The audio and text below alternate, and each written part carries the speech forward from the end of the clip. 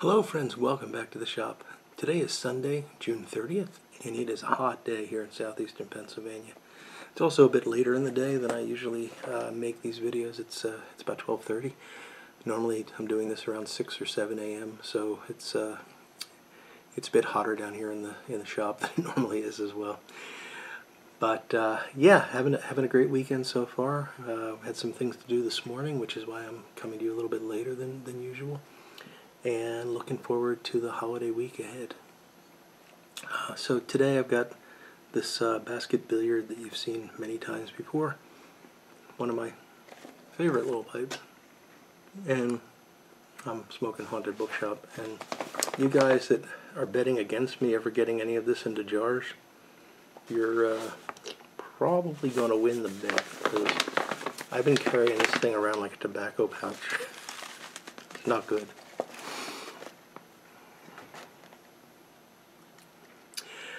So, uh, what I wanted to talk about today was, uh, you know, might be bordering on too much information in a sense, because I'm going to talk a little bit about a medical issue.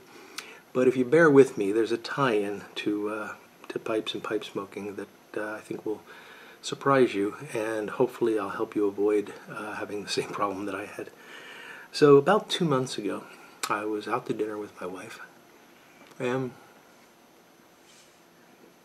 I noticed that I was starting to feel itchy on my uh, left chest. And I thought, oh, that's odd. So I get home and I look, and it looks like a little mosquito bite. Now, this was still before mosquito season, so it wasn't. I, I knew it wasn't, but I thought, yeah, maybe a little spider or something. Very red, angry looking, mosquito bitey looking thing. So I put some cortisone cream on it, and uh, it didn't really help, and I went to bed and forgot about it, and the next day there were like five of them. And I thought, okay, this is weird. Uh, probably worth seeing a doctor because it was in, at this point intensely itchy. So I go to the doctor. He takes one look at it and he says, "You've got shingles." Shingles is a terrible thing to be diagnosed with. It just sounds awful. Uh, the alternative is to call it uh, herpes zoster, which doesn't sound a lot better. Basically, uh, shingles is uh, is the chickenpox virus. Uh, when you get it as a child, it does go away, but the virus doesn't. The virus hides out in your spinal cord, spinal cord and uh, it can, as you get older, reactivate, and it doesn't come back as chickenpox, it comes back as shingles. Now, shingles is problematic for a couple of reasons. One is it's really itchy. Um, the other is that it can be intensely painful, and people describe it as the worst pain they've ever experienced. So, he immediately puts me on antivirals and some steroids, and you know I take all this stuff, and whatever this is, it's just laughing at it. It had no effect, and it starts to, to grow and it's spreading. And I thought, uh, you know, I'd go back to the doctor, and he's, yeah, it's it's shingles, just you know. And, and so this one, I went to the doctor like three times for this, and each time the answer was, yep, that's shingles and uh, I'd go home and I'd have no treatment because you can't, there is no treatment. Not my doctor's fault, but you know, there's nothing he can do and it's really itchy. But it never got painful. So I was convinced that it wasn't shingles because I had no pain, I just had this itching.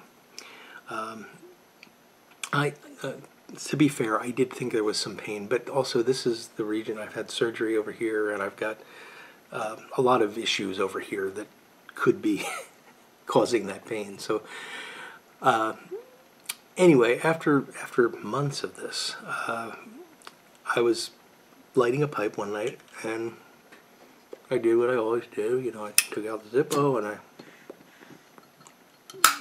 um, I reach out for my my little shirt pocket here, and I drop the Zippo in. And as I did that, I realized that the lighter rested up against this rash and fit perfectly. I actually had a Zippo-shaped lighter on my chest. And I remembered what my friend Glenn told me. And Glenn, I, I, hope you're watching and you'll correct me if I get this the details of this wrong, but Glenn was a surgeon in the Vietnam War, if I remember right. And he said that he saw fighter pilots come in with Zippo shaped rashes on their thigh because they would keep their lighters in a pants pocket and the the suit that they had to wear and the, the G forces and everything would force the fluid out and they'd have an allergic reaction to the fluid. And this set off a you know, a little bell in my head, and I went and I did some Google searching, and sure enough, people are allergic to Zippo fluid. It can produce a very nasty rash. I stopped putting this in that pocket, and I've been putting this in that pocket for many, many years. And I, you know, these shirts, I don't wear them when I'm at work, but most of the other time, this is the kind of shirt I'm wearing, and in that pocket will be my lighter. Within about two or three days, the rash started to leave, uh, started to fade, the itching stopped. Uh, I was putting moisturizing cream on it, but I had been doing that for quite a while because it just kind of tamed down the itch a little bit. And it's, you know, after about two weeks, it's pretty much gone. So, I love these, and I will continue to use them, and I don't see the need for any other type of lighter but I will never again keep this in that pocket.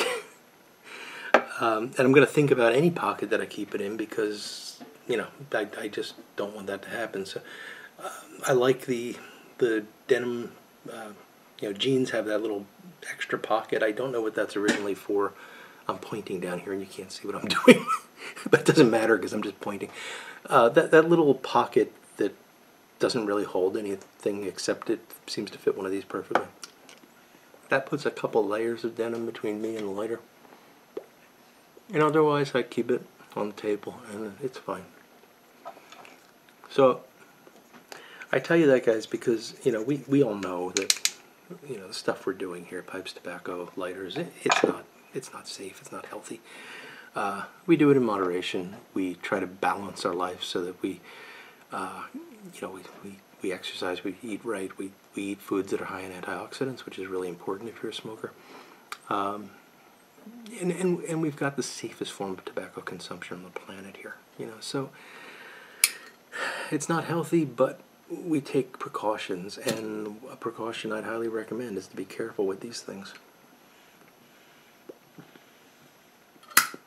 Because while, while I am extremely grateful that I didn't have shingles because shingles is terrible from what I hear. Um, it wasn't fun, you know. It, it itched a lot. It was it was quite painful, uh, not painful, but quite itchy. Um, so it was an annoying, annoying problem to have, and I, you don't want that. So be careful with your your Zippos. Uh, you may be allergic to the fluid, not even know it. You know, I've been using these for it's got to be 30 years now. Uh, zip, well, maybe 25 years, and uh, it just now happened. So yeah, it's. Maybe it had to build up over time. Maybe something in me changed that made me more sensitive. I don't know. Uh, biology is a mystery to me, and I'm a biologist.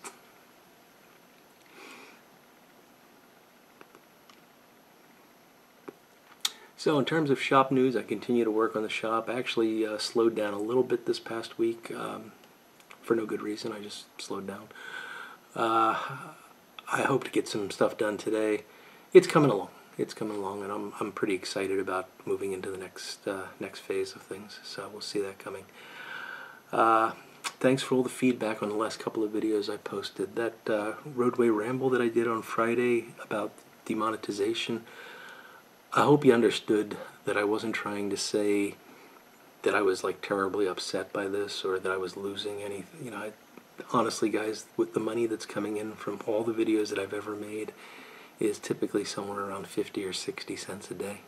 It's it's nothing, and uh, it, but it's nice, you know. After a couple of months, that builds up, and you know, eventually, I get a, a deposit into my account that lets me buy a couple of pipes to refurbish, or some tobaccos to talk about, or, or lights for the shop, or something. You know, so it's it's it's not a lot, but it, it helps, and I was talking, I, I, what I really wanted to do in a sense was defend YouTube because I get it. They're a business and they need to keep their advertisers happy. We could argue about the real, you know, meaning behind it and the real motivation behind it, I should say, and whether or not YouTube's keeping more money than they should. And, you know, yeah, I, I get all that. I don't want to argue about that because I don't think there's any good answers to it. But the bottom line is I can't be too set, too upset about the demonetization because they have to keep their advertisers happy. And the drawing video that I made was one of my first attempts at trying to come up with a different kind of content that would still be YTPC related. Um, you'll notice I chose a famous pipe smoker as the subject.